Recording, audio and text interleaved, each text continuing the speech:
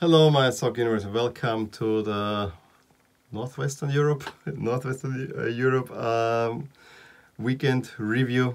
England and the Netherlands with a heavy focus on the Premier League uh, for sure.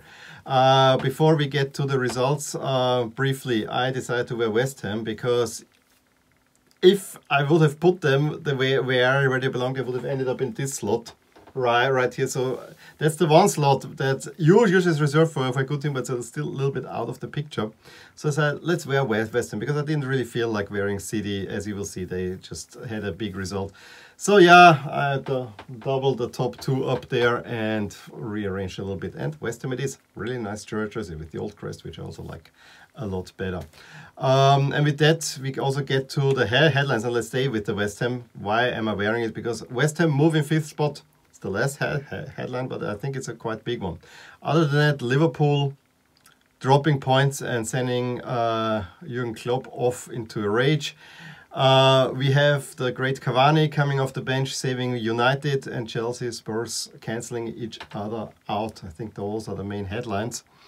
Let's move to the games. Uh, we had on Friday evening Crystal Palace more or less dominating the game, but Newcastle scores the goals. Newcastle, again, as they are prone to do, steal another game. And thieving magpies comes into mind when I think about that. And I have Newcastle sympathy, so I don't mean this necessarily as a diss, but um, I thought it is fitting. Brighton, Liverpool.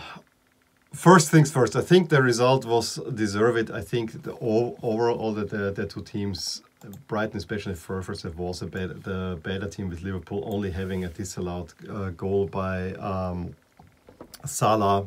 So yeah, Brighton missing a penalty through Maupay, uh, having other chances. Then Diogo Jota, and that's one of the, the buys of the season, I have, have to say. And Jurgen Klopp really has a good feeling what players to buy. I mean, most of his players yes, this one was more was maybe overvalued. But uh, what I admire about Klopp is that he takes players that have been performing decently at other clubs and then transforms them into stars. And Jota is bound to be the next next one. And the finish here was a typical Jota finish.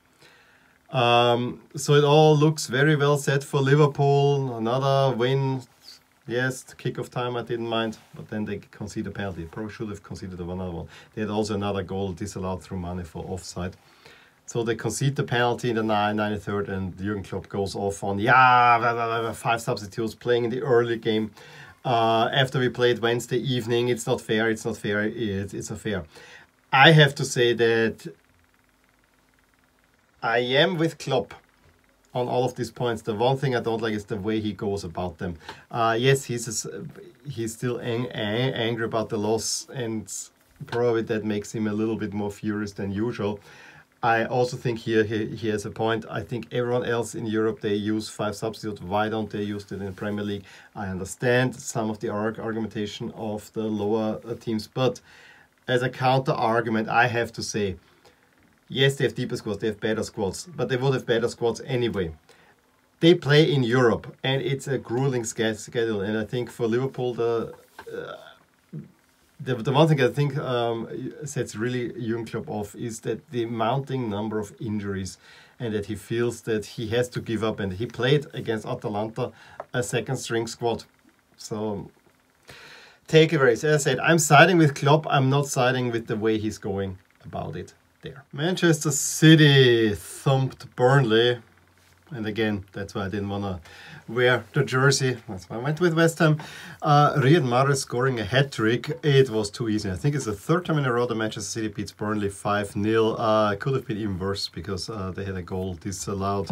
So, yeah, um, not much more that I can say. I, it's a typical Manchester City beats a lower uh, level, level opponent. It's not much that I want to talk about. I actually saw a good portion of Everton against Leeds. Uh, from the get-go, the most interesting thing is what Leeds was playing in uh, with those maroon-colored jerseys, uh, which actually didn't look all that bad, but um, at first I had to really see, uh, is Leicester playing at Everton?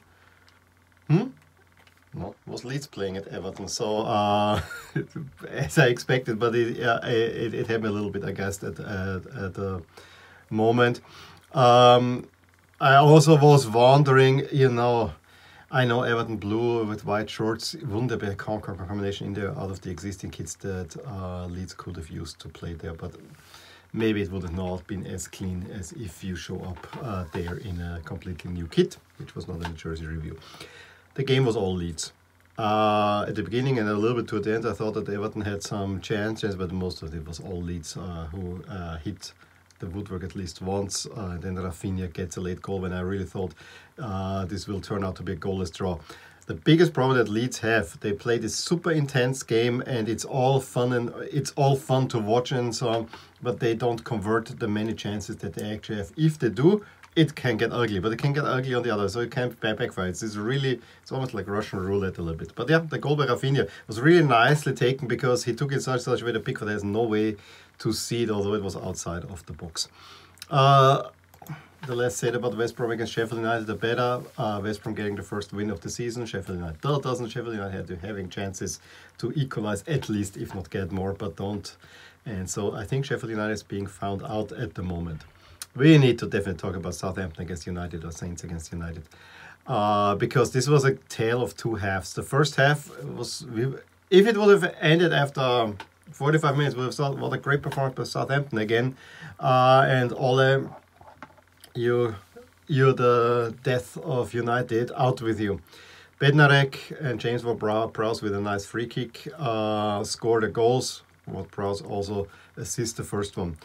But then Joel Solskjaer puts in Cavani for Greenwood at halftime and like Cavani descending from the heavens saves United. Um, he first assists Bruno Fernandes in the 59th then in and that I didn't see, but then I, I joined. I saw the saw the, but then I joined and I see how Bruno Fernandes takes a shot and uh, Cavani basically jumps into it, head heads it. I mean, he has such a feel for the goal. Uh, even if he's he's a fit, it's just amazing. I always like Cavani ever since he's now Napoli. I think he's an excellent, excellent striker. And if he can get get fit, I I know many called foul on United in a way. Yeah, why do we get an old striker? I think Cavani is excellent. If he, I think he also takes good care of himself. And then he scores the winner late in stoppage time. And yeah, Cavani, the big hero, and for me, probably one of the biggest storylines of this weekend. Uh, it should have been that we talk a lot about Chelsea Spurs, but there was not much happening in the build up to that game uh, or over the week, I was kind of convincing myself, yeah, Chelsea is too much head to handle for Spurs. Uh, they might not be overall as great of a side as Manchester City, but the way they're playing, they have a lot more uh, forward, a lot more penetration going forward, which uh, City obviously don't have. And so sitting deep will uh, will suit uh, Spurs not as much as Chelsea.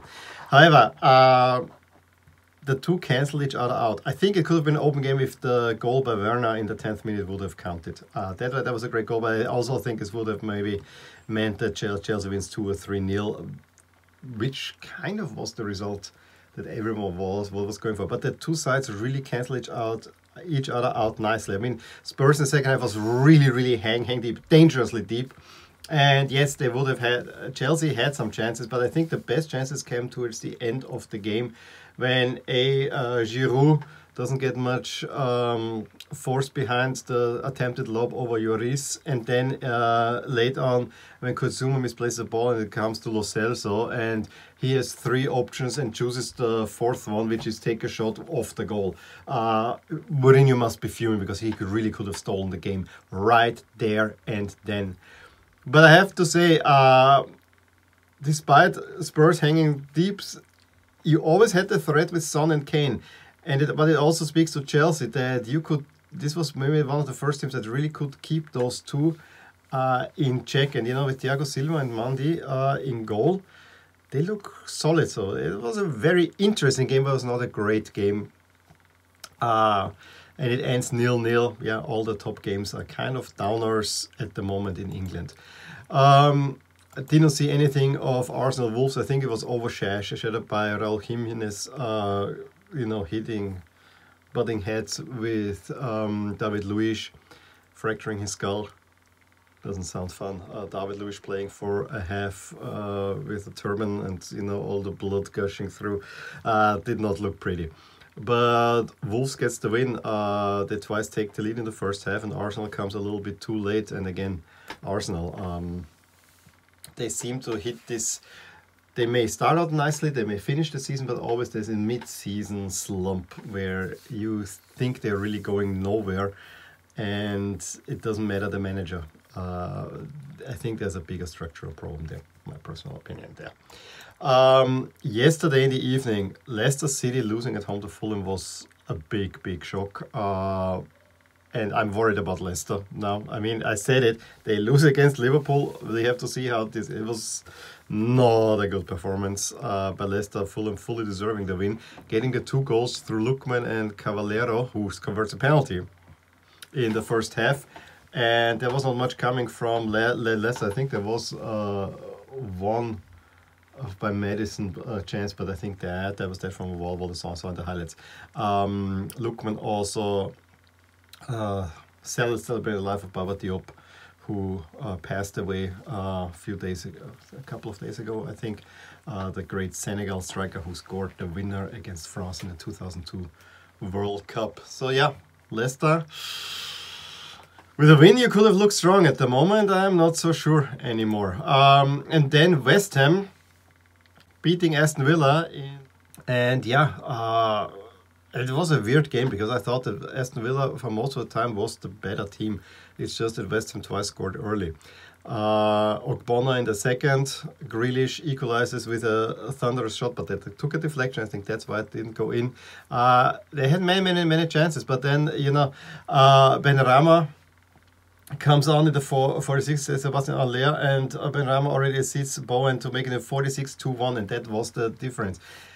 Aston Villa, if they convert their chances, namely, most, uh, for, for, for, first and foremost, uh, Ollie Watkins needs to convert the penalty. Uh, they take at least a point out, out of there that, that would have been deserved. Uh, later was Ollie Watkins' goal. Uh, this disallowed, and it's short shot measuring. Because the sleeve now does not count uh, counts as a part that you can score a goal with the yeah it's crazy. It's crazy I have, I have to say. But credit to West Ham. Yes they probably didn't deserve the win yesterday but we all I, I, I remember at the beginning of, of October they say we have a really tough streak ahead ahead of us it might be a long uh, time for West Ham until we pick points and then they only lose to, Liv- to Liverpool, getting really great results. And if we look now in the table, they find themselves in fifth spot. Huge credits to West Ham. I mean, that we did not expect at the beginning of the season, uh, to be honest.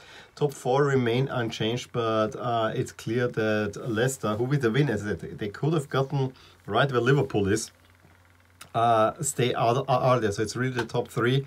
And Manchester City is now the favorite. Uh, having a game in hand with Liverpool dropping points, they again flip flop the percentages. So it's whenever one of them draw, draw drops points, the other one get, becomes favorite. Uh, we have to really see when everything evens out. And as I said, in my La Liga review yesterday, I probably should do a relative table and not this absolute table that everyone sees. Would make it probably a little bit more even everything. On the bottom, Sheffield United really looking bad. I think they have been found out, um, and I think they are. They will probably go go down as will West Brom, although Burnley is now ahead and, and Fulham. I think, as I said last time, the, those those four. I don't think that uh, anyone else will go going there seems to be very very decisive. Overall, the Premier League. I mean, Brighton is hovering, but they play well enough that I think they will pick up enough points. The rest is rather rather rather even. Next weekend, the big one is the North London Derby.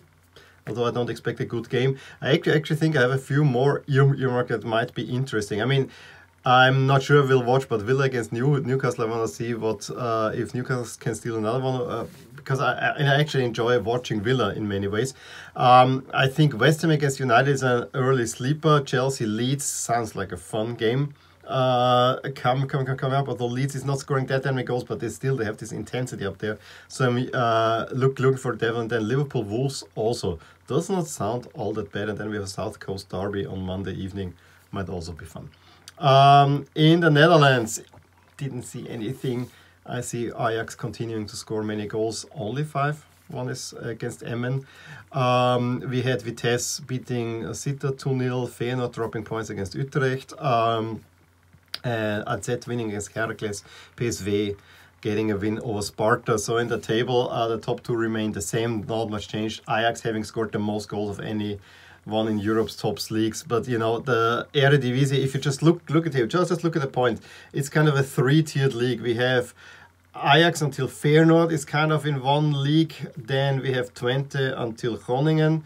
That's the next pack, and the rest is all bad teams, more or more or less. So the 18 team league is maybe a little bit too big in the Netherlands there because there's a really, really, real drop drop off the I see even the ratings.